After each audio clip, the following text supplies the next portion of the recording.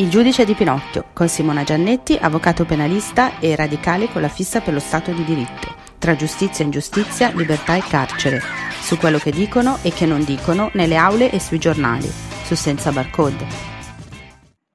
Oggi parliamo della notizia che è girata sui giornaloni della stampa di regime degli ultimi giorni e in particolare quella che ha riguardato la scarcerazione dei boss. Ma poi quali boss?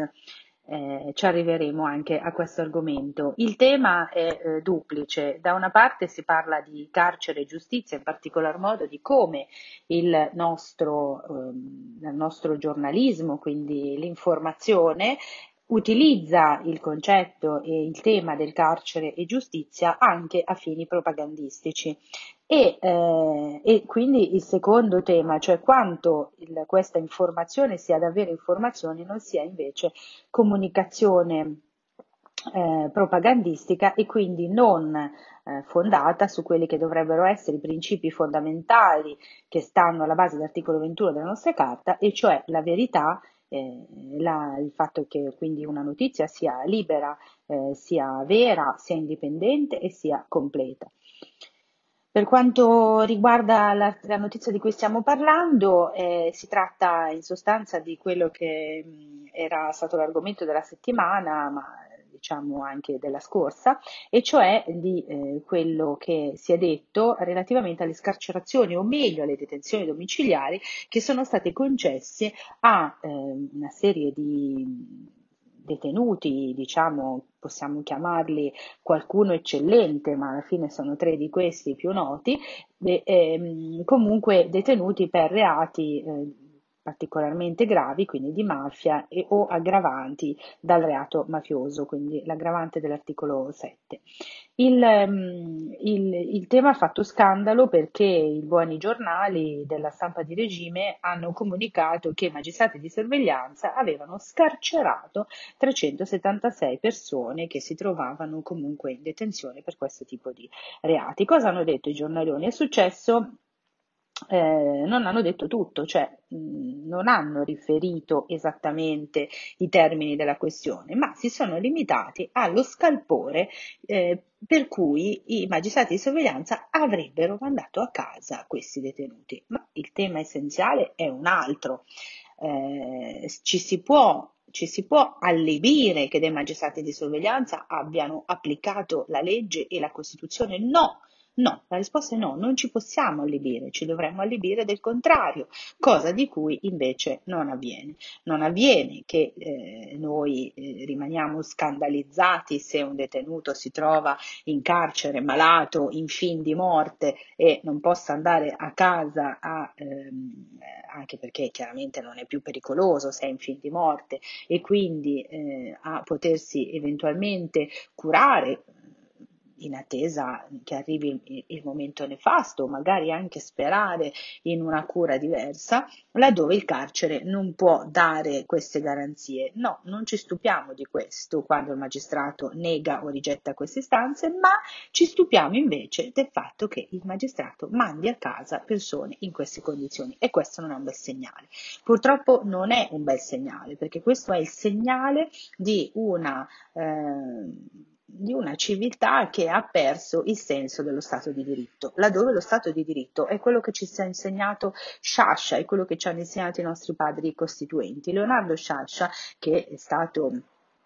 grande studioso della, del fenomeno mafioso, sia come intellettuale, come politico, come scrittore, era il primo ad essere un antimafioso, ma non era un antimafioso dei professionisti dell'antimafia, quello eh, di cui aveva parlato nel suo noto articolo del Corriere del 1987, ma era un antimafioso che, riguard- che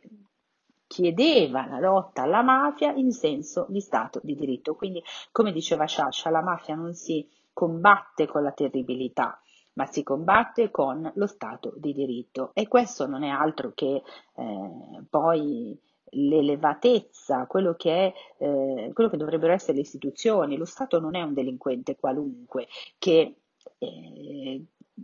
combatte la mafia con i sistemi della mafia. Lo Stato è lo Stato e quindi deve essere elevato. E come si eleva? Applicando i principi della Carta Costituzionale. E allora cosa succede? Che i magistrati di sorveglianza non hanno fatto altro che applicare i principi della nostra Carta Costituzionale. Ma facciamo un passo indietro. Dove ci troviamo e perché siamo arrivati a tanto? Cerchiamo di ricostruire un po' la vicenda. Allora è successo che è arrivato il Covid, il governo eh, ha chiesto a tutti noi di stare distanti un metro, di mettere le mascherine e, questo però doveva succedere anche in carcere, perché noi sappiamo che la, la, popolazione detenuta ha gli stessi diritti della popolazione libera. Pertanto, eh, nello stesso momento in cui a noi chiedevano questo, anche in carcere venivano diffusi questi circolari in cui si faceva presente che i detenuti avrebbero dovuto tenersi distanti un metro, non indossare le mascherine perché le mascherine sono arrivate mesi dopo, e quindi avrebbero dovuto tenere la distanza di un metro metro, ovviamente hanno avuto il buon gusto di non scrivere un metro nella cella, ma nella socialità. Un metro nella cella non è possibile perché nelle celle solitamente i detenuti stanno stipati, in quanto sono 2, 3, 4, 5, 6, 7, 8, il tutto in una cella solitamente prevista per due, massimo tre persone. Eh, quindi il punto qual è? Che è successo che eh, nel carcere si sono accorti che il problema del sovraffollamento cozzava un attimo con i, eh, le prescrizioni del Covid, cioè eh, da una parte c'era mh, la, eh, la, situazione emergenziale che ehm, proclamata appunto dallo Stato e quindi con delibera del 31 di gennaio del 2020 in cui si dava atto che eravamo in uno stato di emergenza e poi da febbraio successivi ehm, quindi a partire da, da, da successivamente a marzo, i, i, i, DPCM che si sono scandagliati nel tempo e che hanno eh, imposto delle misure che poi erano quelle che provenivano dalle istituzioni sanitarie internazionali,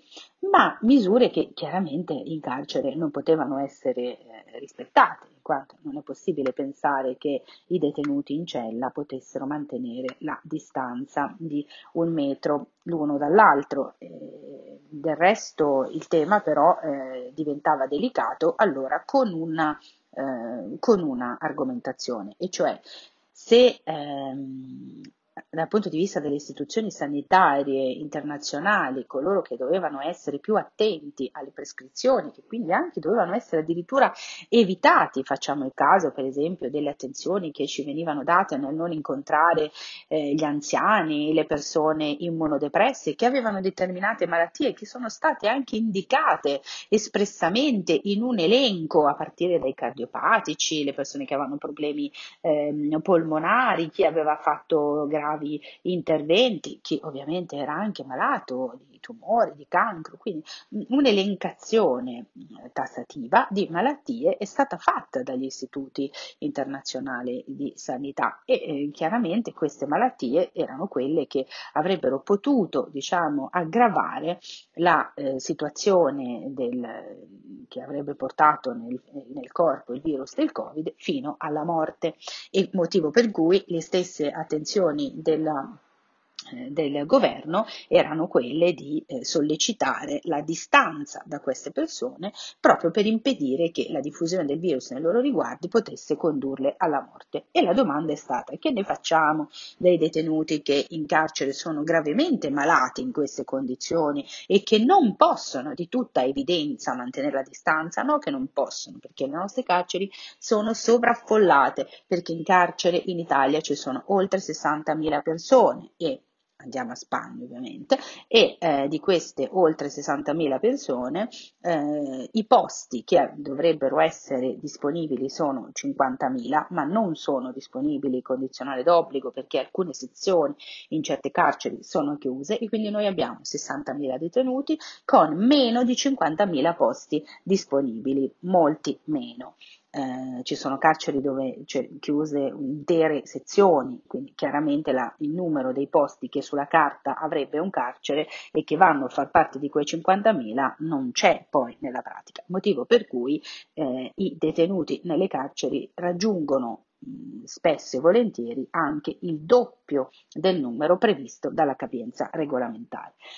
E allora torniamo alla domanda che ci siamo fatti, che ce ne facciamo dei detenuti che si trovano in queste condizioni di salute gravi e che non dovrebbero neanche incrociare le altre persone e eventualmente eh, con rischio di ammalarsi? Apriamo una parentesi per chi è meno avvezzo all'ambiente del carcere, perché qualcuno potrebbe dire ma tanto sono tutti detenuti, se sono chiusi lì dentro non si ammalano. E no, c'è un dato, il carcere è un ambiente, è un luogo eh, complesso dove ci sono i detenuti, i detenenti, i funzionari, gli ausiliari, gli ausiliari sono gli educatori, sono il, il parroco, sono i ministri di culto, sono gli infermieri, i medici, i sanitari, ehm, tutti coloro che entrano ed escono dal carcere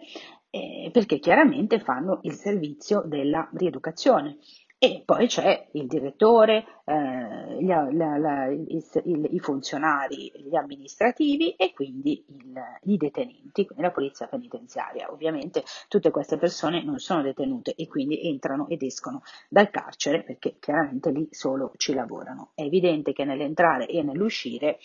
eh, la possibilità di diffondere il virus c'è eh, a maggior ragione se pensiamo che la polizia penitenziaria le misure di precauzione sono arrivate diciamo attorno alla eh, fine di marzo, quindi non certo tanto prima, abbiamo avuto un mese abbondante in cui di certo non, ehm, non era possibile per tutti coloro che facevano comunque dentro e fuori dal carcere riuscire a eh, tutelare non solo se stessi ma anche chi c'era dentro. Eh, per esempio eh, sono stati anche vietati i colloqui con i familiari, quindi se noi pensiamo che un diritto fondamentale come quello del colloquio col familiare, che è un diritto, in questo caso fondamentale tra virgolette, cioè un diritto essenziale dell'unità familiare, ma anche che partecipa alla rieducazione del condannato, che è quello di potersi incontrare con i propri affetti e quindi mandare avanti anche la propria sfera affettiva con la famiglia, i figli, la moglie, è stato, eh, è stato come dire, cancellato, proprio con un colpo di spugna, giustamente per impedire che queste persone dall'esterno potessero portare e diffondere il virus in carcere. E di questo ce n'è stato patimento da parte dei detenuti, è evidente che a questo patimento avrebbe dovuto corrispondere una razio, e cioè appunto quella di evitare che il virus si diffondesse in carcere. Eh, se da, da tanto patimento non corrisponde un'altrettanta valutazione di importanza del concetto di diffusione del virus e quindi anche di conseguenze, laddove il, l'intervento dello Stato non sia solo quello di togliere, ma anche di dare, allora non saremo in uno Stato di diritto che riconosce appieno il diritto alla salute, ma avremmo un riconoscimento discrezionale di questo diritto e noi sappiamo che i diritti fondamentali devono essere applicati sempre e comunque, non a discrezionalità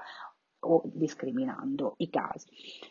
Ebbene, eh, accade quindi che i detenuti mh, gravemente malati eh, sono tanti, e non sono pochi, i detenuti sono anche spesso in età elevata, soprattutto tenendo conto del fatto che ci sono tanti detenuti di lunga pena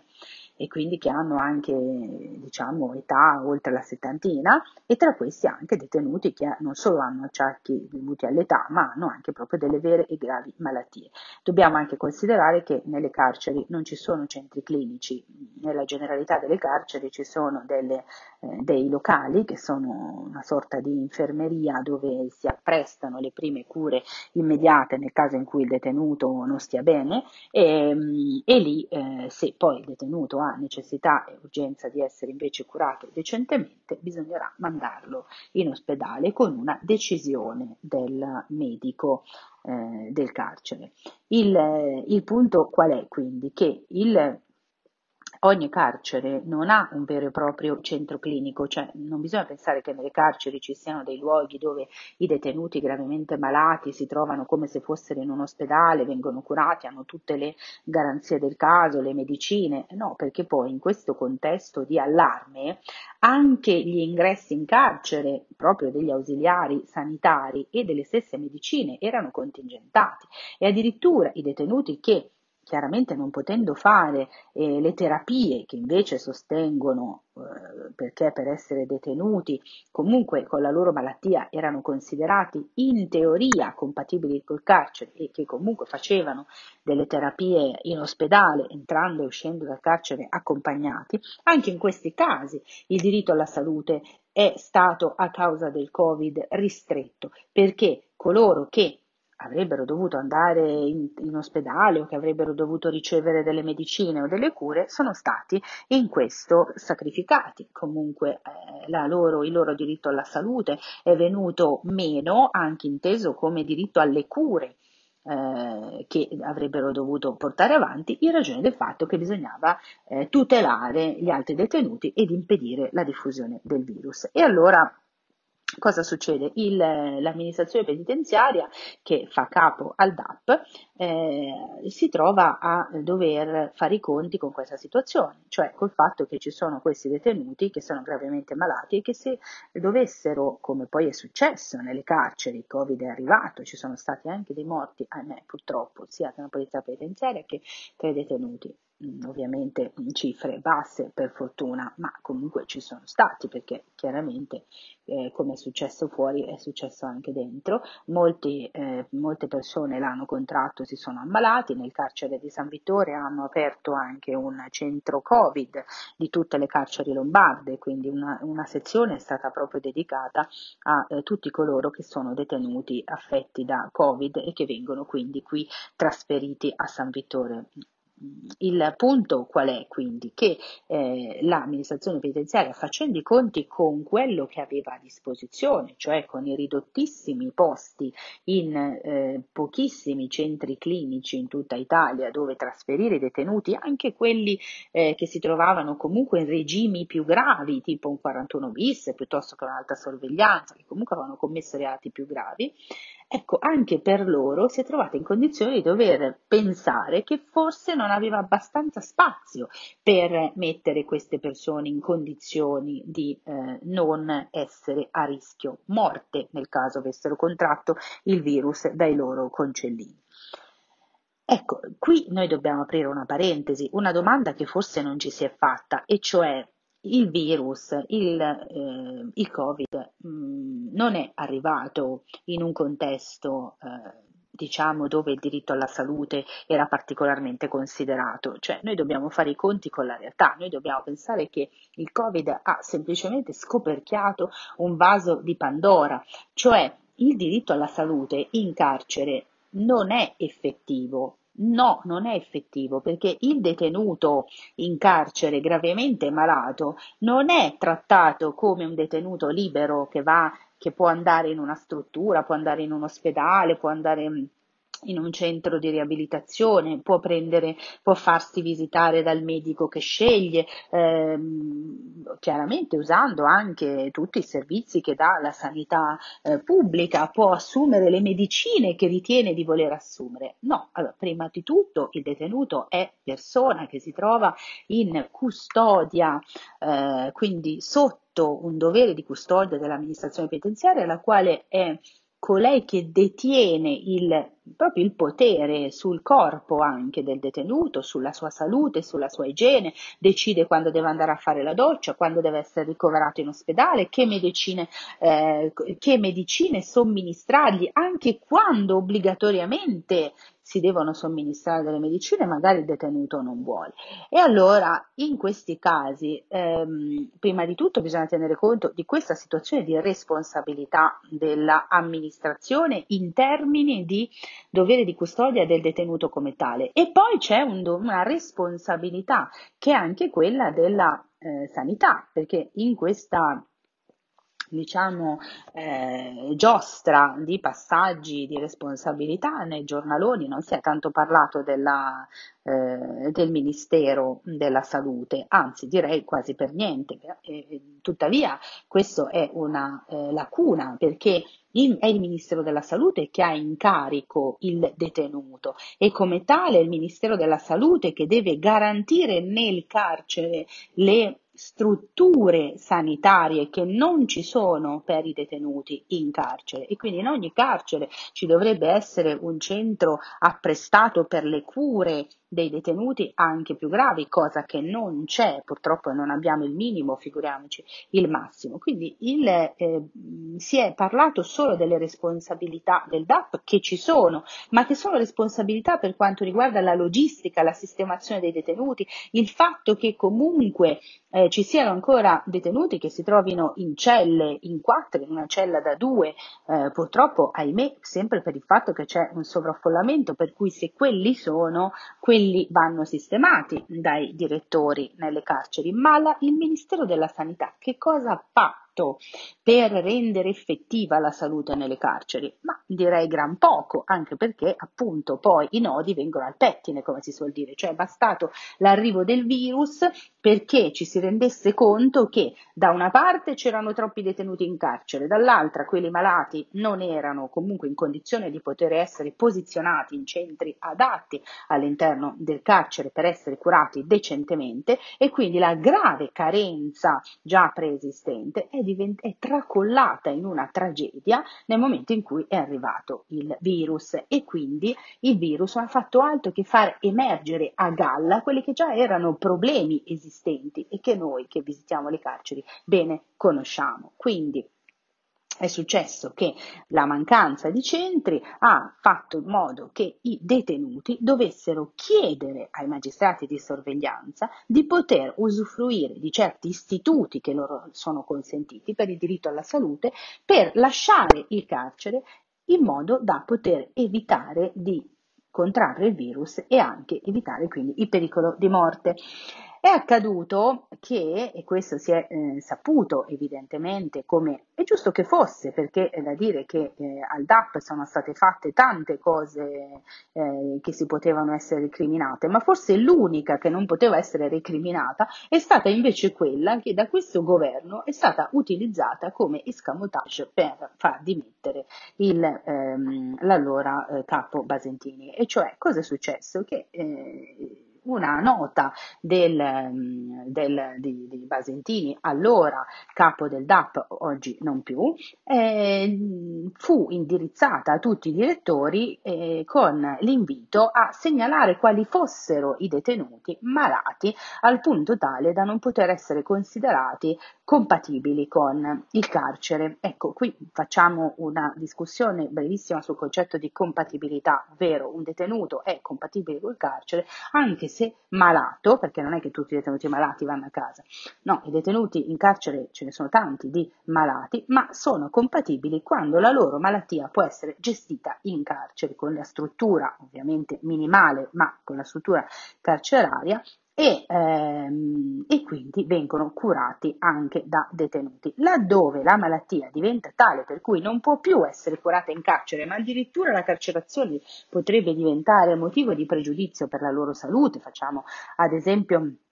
i casi di malattie molto gravi in cui devono essere apprestate delle cure particolari, altrimenti si potrebbe incorrere nella morte, oppure addirittura il caso in cui ci sono malattie che prevedono una igiene elevatissima, per cui anche solo un eh, contatto con qualcosa che non è di particolarmente igienizzato potrebbe comportare la morte del detenuto, in questi casi eh, non si tratta più di compatibilità, ma subentra la incompatibilità col carcere che viene certificata dal medico del carcere, il quale eh, ovviamente con questa eh, certificazione eh, consente al magistrato di sorveglianza, dietro richiesta del detenuto di, o anche dal magistrato d'ufficio di poter eh, andare in detenzione domiciliare a casa o anche in ospedale in una struttura per curarsi.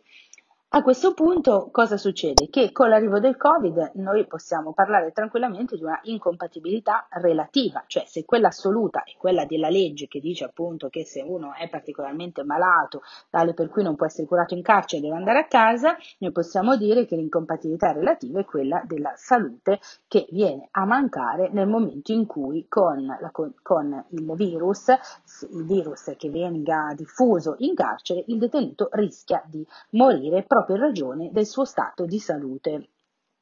aggravato.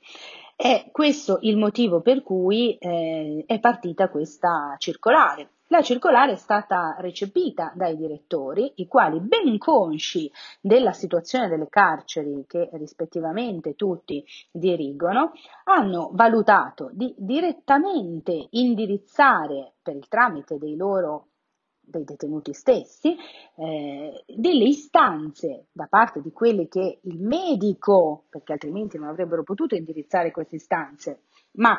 tutti coloro che eh, erano già stati preventivamente individuati dal direttore, ovviamente per il tramite del medico, eh, come soggetti a rischio, hanno inoltrato le istanze ai magistrati di sorveglianza, chiaramente qualcuno tramite anche il proprio difensore. E qui, e qui il, il, diritto ha fatto il suo corso, cioè il detenuto si trova nelle condizioni di incompatibilità relativa col carcere, manda l'istanza, il magistrato legge cosa dice il medico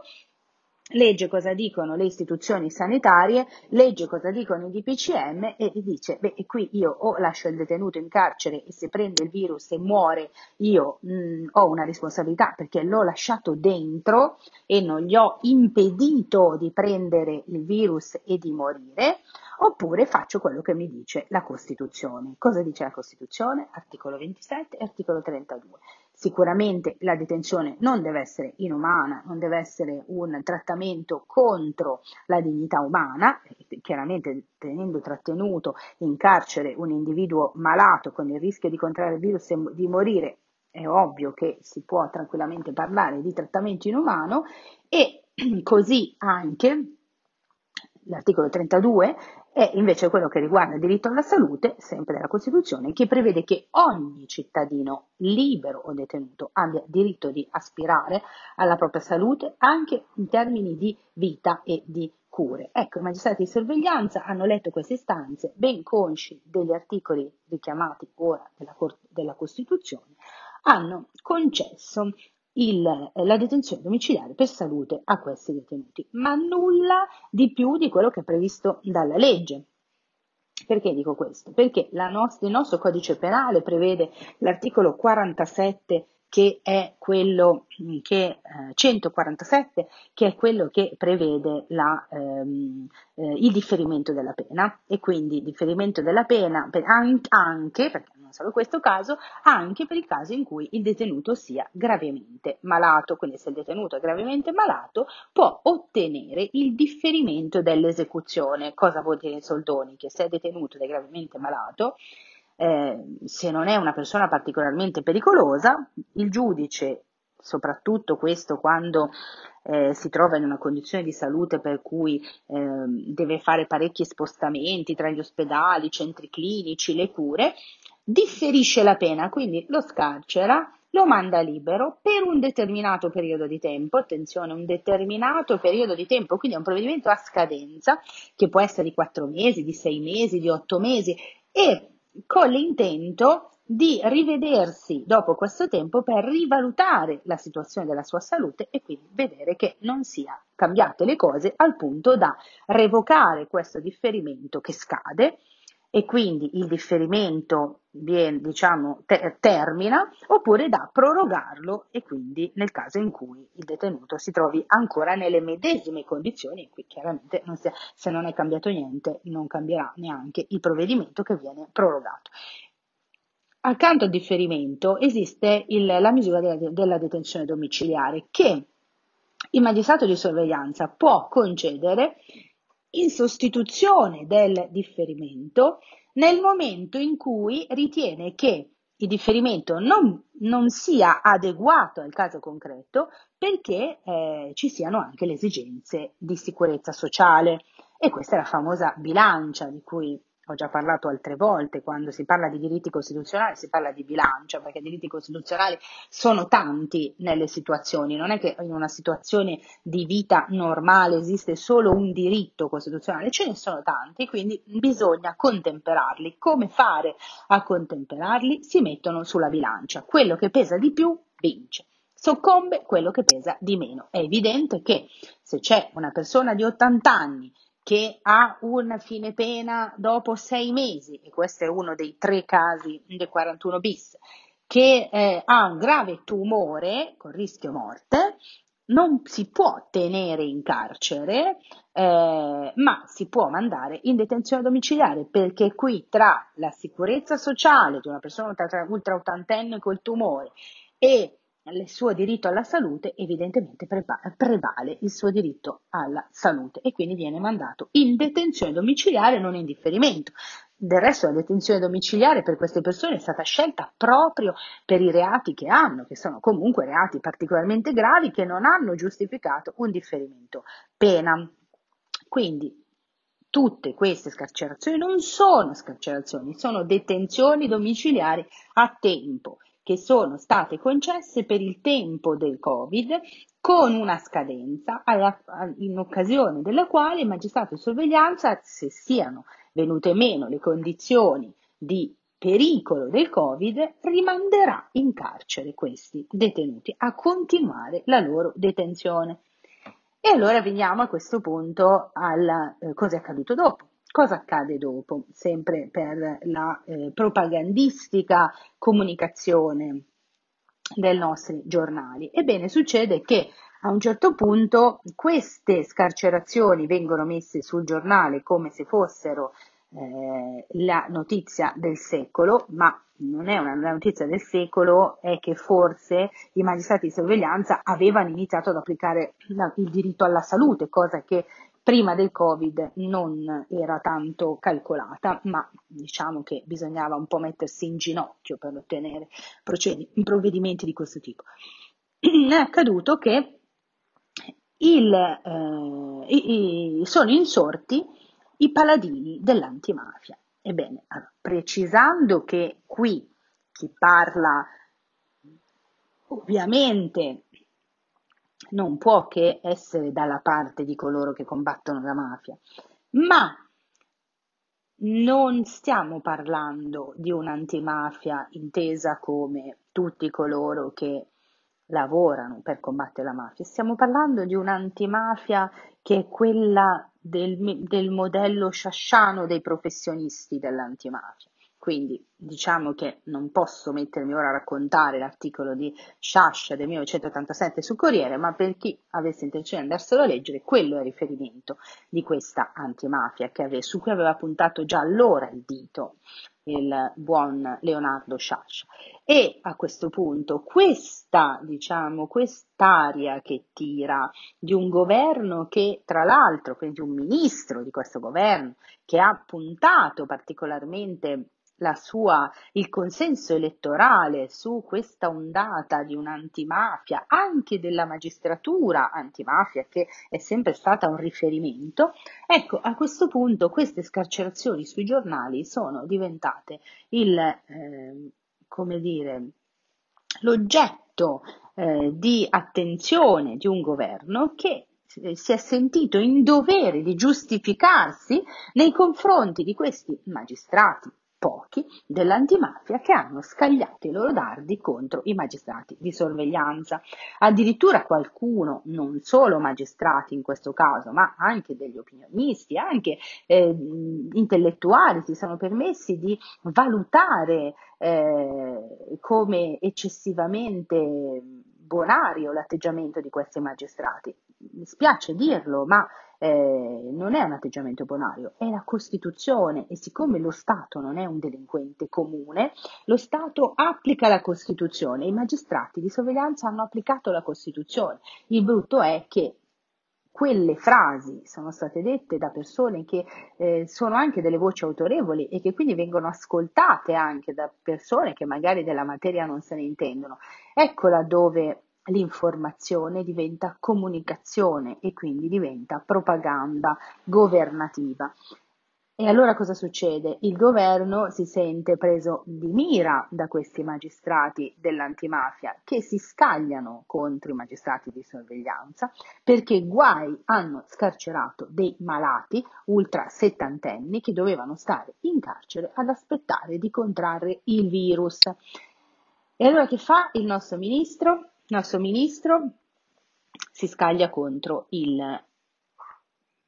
presidente del, il capo del DAP, il quale eh, ovviamente diventa, eh, chiamiamolo l'agnello sacrificale. È da dire che il capo del DAP non è mai stato particolarmente, diciamo, brillante nella gestione di queste carceri, perché comunque è andato sull'onda di quello che era già un po' successo anche prima, cioè le carceri sono sovraffollate, eh, non ci sono chiaramente, eh, non c'è una situazione, c'è una situazione di particolare degrado, eh, il ministro della salute, idem, non ci ha messo del suo, come abbiamo detto prima, quindi nulla, nulla era stato fatto comunque di particolarmente lodevole, ma la cosa che è emblematica è che Capo del DAP è caduto proprio nell'unico momento in cui ha fatto, a parere di chi sta parlando, il suo dovere, e cioè ha detto, signori direttori, ditemi chi è malato, perché il punto è, in qualche modo, questo lo dico io, bisognerà occuparsene. Cosa succede? Che eh, il, mm, il, dardo, eh, che viene comunque tratto è quello di un magistrato che aveva chiesto al DAP di far presente se ci fossero dei posti in un centro clinico, ma il DAP non ha risposto. Ebbene, mh, mm, a dire vero, la, ehm, chi parla ora non può far altro che dire beh, che cosa avrebbe dovuto rispondere. Il magistrato di sorveglianza ha chiesto, l'amministrazione non ha risposto e, e il magistrato ha deciso l'amministrazione non ha risposto forse perché non sapeva cosa rispondere, ma certamente avrebbe anche dovuto scrivere non sappiamo dove metterlo perché non abbiamo le strutture. Sarebbe stato un grave mea culpa e probabilmente ha scelto di non rispondere. Vogliamo augurarci che eh, non abbia, non abbia dimenticato di non rispondere, ma questo non lo possiamo pensare. È evidente però che il punto è un altro, cioè eh, in questo caso dei detenuti se ne sono occupati, dei detenuti malati, perché il DAP ha chiesto ai, magist- ha chiesto ai direttori di fare una segnalazione su di loro e i magistrati hanno colto la segnalazione e hanno provveduto. Quindi noi ci stiamo scandalizzando dell'unico momento in cui il DAP ha fatto il suo dovere nei confronti dei detenuti malati. Niente, il DAP cade, il capo del DAP cade e quindi Basentini diventa l'agnello sacrificale. Sappiamo che poi nelle more dell'arrivo di, del nuovo capo Petreria è stato nominato anche il vice direttore Tartaglia. Tra parentesi possiamo dire che Tartaglia è anche un discepolo, possiamo chiamare così, del consigliere del CSM di Matteo che di lì a poco in quei giorni si era anche abbattuto contro il ministro Buonafede per avergli eh, rimbangato delle vecchie, almeno di due anni, questioni che riguardavano il eh, posto di capo del DAP che gli era stato ventilato dal ministro Buonafede e che poi per ragioni eh, più che altro politiche, ma certamente eh, non, non eh, questionabili, non era stato poi più eh, realizzato. Il, ehm, il, il, punto poi prosegue perché eh, nelle more, quindi quando cade Basentini, arriva il vice capo del DAP, e beh, il governo però eh, qualcosa deve fare perché anche sotto il fuoco incrociato che gli arriva eh, da ehm, consigliere CSM di Matteo in diretta televisiva eh, da Giletti, eh, il buon governo si trova nella condizione di dover dimostrare di essere ancora antimafioso e quindi di essere ancora di non di quell'antimafia di cui abbiamo detto, di cui siamo tutti sostenitori, ma di quell'antimafia che è quella che Sciascia ha detto essere quella che gestisce la lotta con la terribilità, quindi di essere ancora antimafioso al punto da snocciolare un bel paio di decreti eh, con un decretificio, se possiamo chiamarlo così. E quindi eh, in, negli ultimi giorni i magistrati di sorveglianza si sono visti arrivare due nuovi provvedimenti governativi da parte dell'esecutivo